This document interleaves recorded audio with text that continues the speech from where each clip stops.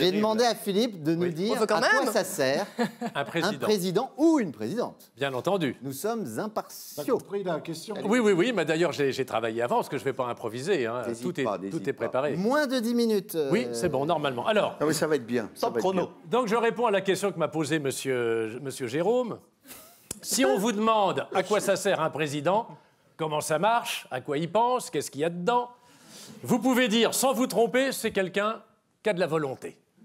Pour ce mandat suprême, laurier prestigieux, qui depuis tant d'années fait tellement d'envieux qu'à chaque renouvellement, la bagarre est ouverte, on n'a jamais connu une campagne déserte. Ah, mais Ah, ça tu arrive. fais des verres Je fais des vers, oui. Alors là, c'est- Eh oui. Il faut changer, il faut changer de nourriture. Il est prêt à tout. c'est grand. Et pourquoi ce ramdam? Ce grand chambardement Un trône, un sceptre, la lune Une couronne de diamants? Un bail de cinq années près des Champs-Élysées. C'est c'est Victor Hugo en mieux. Un pavillon coquet, certes, avec du personnel. Une intendance qui suit, comme chez les Ripincelles. Ah, mais il fait vraiment des fait verres. oui. En alexandrin en plus. Ben oui, ben oui. Là, il fait des, secrétaires, des jardiniers, des estafettes, cuisiniers, sommeliers et chauffeurs à casquette. Poil à la caquette. Voilà la Tout ça pour pas un rond et la vaisselle en sus. Voilà la quéquette. C'est vrai que ça peut tenter quand on n'est pas Crésus. Ben, c'est pas fini. Bravo. Eh oui, eh oui, la place est bonne pour diriger la France. Alors ça vaut la peine un peu de persévérance. Et si dans la compète, on se tire un peu la bourre, dans notre République, ce qui compte, c'est l'amour. Une fois élu, le président... Avec du poil autour. Bien Oh non Non, Bernard Non Bah, ça donne une note de gaieté. ça, voilà, c'est- Ça habille, ça habille. Non, les- les- Une fois élu, le président, la présidente. Ah, on sait toujours pas, encore un peu d'attente. Oh. Faites une déclaration. Bon, c'est subtil. Faites une déclaration pour dire qu'il est content, pour dire qu'elle est contente. Remercie ses amis qui sont intelligents, mais ne fustige pas les cons de l'autre camp. C'est la France qui parle. Le pays qui respire. À partir d'aujourd'hui, plus de place au soupir. Une ère nouvelle commence, le paradis sur terre. Terminez le chômage. Gratuite, la pomme de terre. C'est magnifique. Je me demande parfois ce qui se passe dans son esprit. Vous voyez ce que je veux dire C'est. Très curieux. Parce que je sais pas où mettre les poils, là. Ne la interrompez pas, il y a Bah si, terre. euh, Bah je oui, c'est de la versification. Alors, bon. Bah oui. bah ouais. Dès les premiers instants, on rassemble ses proches. On n'a pas de temps à perdre. On se réunit sous le porche. On fait appeler Robert, qui veut un ministère. On rappelle sa cousine, celle qui aime faire la cuisine. On lui trouvera un stage, un cours d'apprentissage. On s'était engagé auprès d'un spécialiste, un homme de cabinet qui était en haut de la liste, pour le mettre en bonne place aux affaires culturelles. Et pan, le v'là mouillé dans un scandale sexuel. Là, tu peux, Bernard. Poil aux aisselles. C'est formidable. Ça- Il faut revoir sa copie. Penser à l'intérieur, prendre à l'économie quelqu'un qui fait du beurre. Aux affaires étrangères, c'est bien un géographe. Ça peut nous éviter un certain nombre de gaffes. Quant à l'éducation, l'enseignement, les écoles, faut choisir vite et bien et pas prendre un mariole. Il faut se lever très tôt, le peuple est impatient.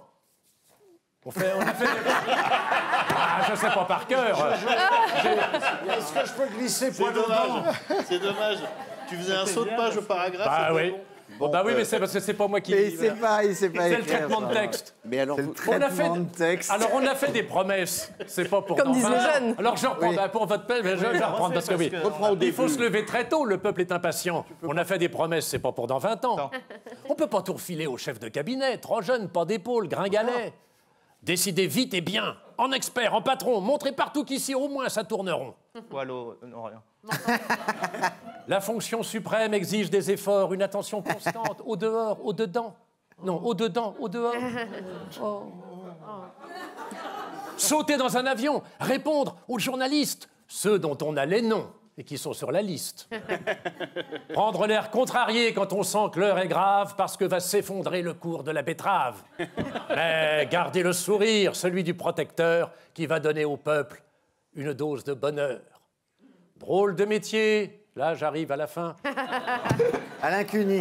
Drôle de métier. Ah, À- Alain Cuny, il se tordait la bouche. Rôle de métier, si convoité que celui-là. On l'appelait cunilingus. Oui, oui. Mais. Merci, Bernard. Oui, ce serait, ce serait bête de se priver. Mais choisit-on vraiment d'être chef de l'État? Bien sûr, on fait tout pour, on joue des coudes, on se pousse. Quand on y a goûté, on aimerait bien le refaire, mais c'est dans l'isoloir, hors de la vie de tous, que par l'arithmétique la plus élémentaire, le sort d'un candidat ou d'une candidate se mélange à celui d'une nation ingrate. Car oui, on le sait tous, et même les postulants, que nous autres Français, on n'est jamais contents. Oh là là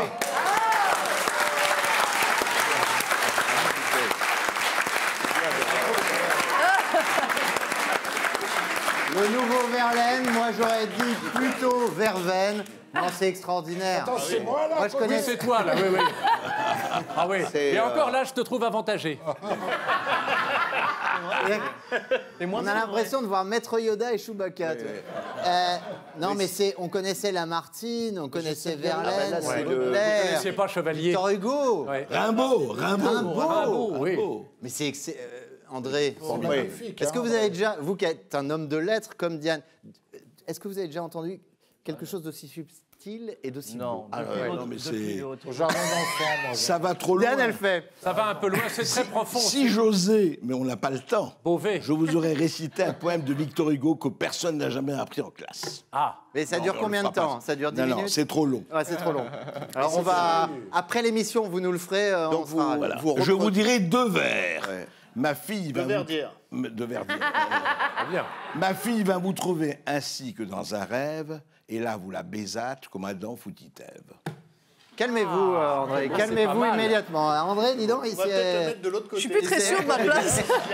Diane, je sens que vous êtes. euh, je ne veux pas vous mettre à côté de Stéphane Rose parce que c'est encore pire. Ah, regrouper dégueulasse. Elodie et Victor Diane. Hugo, c'est dégueulasse. C'est Victor Hugo, oui. Victor. Hugo. Ah bah il était branché, le père Totor. hein. Ah, ouais. Les, les prostituées étaient nombreuses à son enterrement. Tu te souviens de la phrase de Cosette Est-ce que tu veux que j'avale, Jean? Ah oui, très bien. Victor Hugo, Victor Hugo. Bah oui, mais. Et dans Les Misérables, il n'y avait pas à manger tous les jours. Ah hein. oui. Victor Hugo. C'est vrai, il était un peu, oui, ce, ce Jean Valjean qui Non. va aider une petite jeune fille. qui- Arrêtez, arrêtez. Non, mais, tu- non, Et mais après, retirait les taches On avec de était- l'eau de Javert. Oh non, Moi, ça m'a. ça- arrêtez. Mais ça- Jacques, faites oui, quelque chose. Ça m'a ouais, non, rajeuni, mais- moi. Ça m'a rappelé le, le grenier de Montmartre en 52. Non, arrêtez, arrêtez. Le lapin agile. Euh, Je suis content de voir André parce que je l'écoute tous les midis presque et je trouve son émission formidable sur Sud Radio. Mais ouais, ce sera encore mieux quand il nous invitera, je le veux dire. voir, Mais on parce va ne vous mâche inviter. pas ses mots. en chair Non. et, et- Absolument.